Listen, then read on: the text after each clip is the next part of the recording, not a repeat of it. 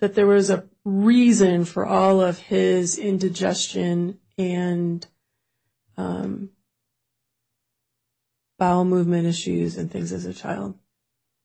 Um, to me, I mean, it wasn't anything abnormal. Um, you know, I went through a lot of the same things with my daughter. No, I... Okay. And to the degree that Mr. Miller has, you noted he had migraines, how many migraines do you remember? Not a lot. Um, migraines are in my family. They're hereditary. Um, I have them. And he I didn't have them very often, maybe 10 in his in his lifetime. Was there ever any medical recommendation for treatment? Not really. There's really not much you can do about them. Okay. Has Mr. Miller ever been diagnosed or described as lactose intolerant? Yes. Was there any reason given for the back spasms while skating? Um, just, he was tall for his age, and it just, from the leaning over and skating. Yeah.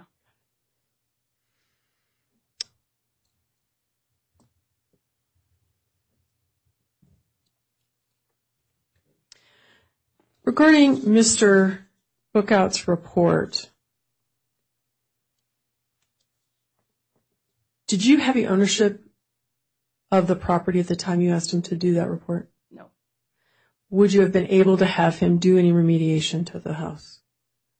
Yeah, there would have been no reason to, um, since Graham no longer lived there. And you didn't own the property? No. Okay. And so what specifically did you ask him to do? I, from the first trial, Sherry admitted that there was black mold in the cabin. Judge, I have to object to that as being hearsay. It's on record. Well, ma'am, hold on one sec. Being hearsay, and uh, and I don't think it's accurate also. All right. All right, so uh, let me do this. I'll sustain as a foundation. We'll see if there's a hearsay exception if you lay a foundation. Okay. Your Honor, I'll withdraw that aspect of this question until later testimony. All right, fine. Thank you. Um, what exactly did you ask him to do? I asked him to see if he detected mold in the cabin. Okay. And what did you ask him to do at your house? Same thing. What was the answer there? Um, I had no mold in my house. So asking him to find mold doesn't mean he finds mold? Right. It just means you'd like him to look? We wanted him to look and to verify whether we had it or not. And if we did, then we would do something about it. No further questions, Your Honor. All right. Thank you, Ms. Mellon. Judge, may I ask one question? I'm sorry. Uh, I usually don't allow recross unless something was outside the scope of cross. It's okay. I'll go along with that. Okay. Thank you. Otherwise, it never ends. Right. All right. So now, speaking of never ending, uh, ladies and gentlemen, you have the chance to ask this witness questions. You don't have to. It's purely optional. They have to be of your own making, uh, and you just write them down on one of the forms that should be in your um, jury notebook. If you don't have a form, you could just write it on a loose leaf piece of paper. Don't put your name on it, uh, and we know which case it is, so you don't have to identify it. You could take a minute to do that, and then I will just briefly review them.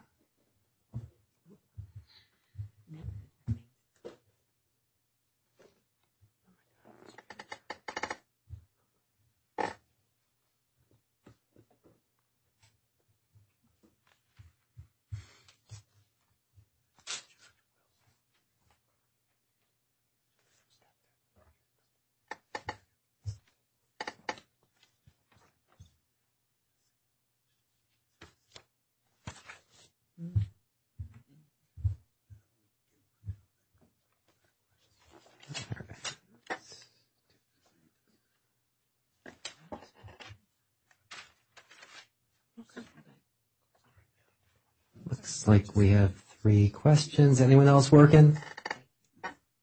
All right. Thank you, uh, Cam. Let me just review these, please.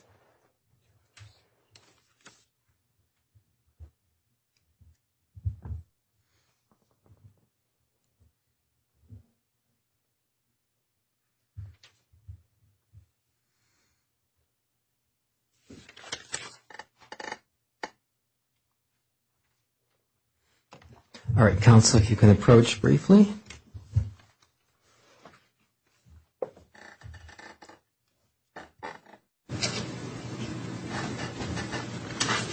Thanks. Appreciate it. All right, we have three jury questions. I've labeled them one, witness one, A, B, and C. You could just let me know if there's an objection. If there's no objection, you can just say so. If there's an objection, you can just state the objection.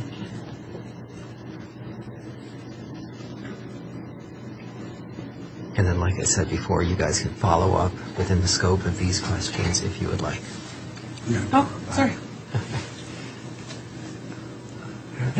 Ms. Mellon, any objections? I have no objections, Your Honor. All right, Mr. Skinner? I don't have any objections. Thank All you. right, thank you. Thank you. Thank you. All right, counsel. These questions are all appropriate, so ma'am, I will read a question. You can answer to the jury, then the lawyers will have a chance to follow up. So this is um, uh, question A. Uh, why were you treated in Florida if no exposure to mold? I grew up in St. Louis, which is a very moldy place, and my childhood home was flooded, and we had a cottage in Michigan that was full of mold.